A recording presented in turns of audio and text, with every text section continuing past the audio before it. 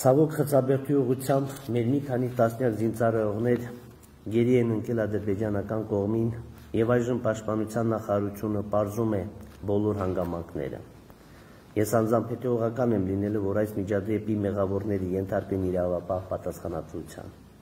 Նրանց արագ ու անվտանգ վերադարձը հայրենիք պետք է լինի բոլորիս առաջկա ջանքերի կիզակետում եւ արդեն իսկ քայլեր ձեռնարկում են այդ ուղղությամբ։ Հաշվի առնելով Ռուսաստանի Դաշնության ստանձնած խաղաղապահ մանդատն Արցախում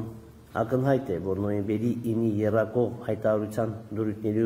ու ձևավորված շփման գծի խախտումները հստած անհարգալից վերաբերմունք է Ռուսաստանի եւ միջնորդական ջանքերի եւ խաղաղապահ մանդատի նկատմամբ։ Ոստի Հայաստանի Հանրապետության ռազմաքաղաքական ղեկավարության հետ միասին աշխատում ենք ռուսական կողմի հետ որպեսզի համատեղ կանխենք ադրբեջանական սանդրակները, իսկ պաշտպանության բանակը իհարկե զուգահեռաբար կատարում է իր պարտականությունները եղած հնարավորությունների սահմաններում։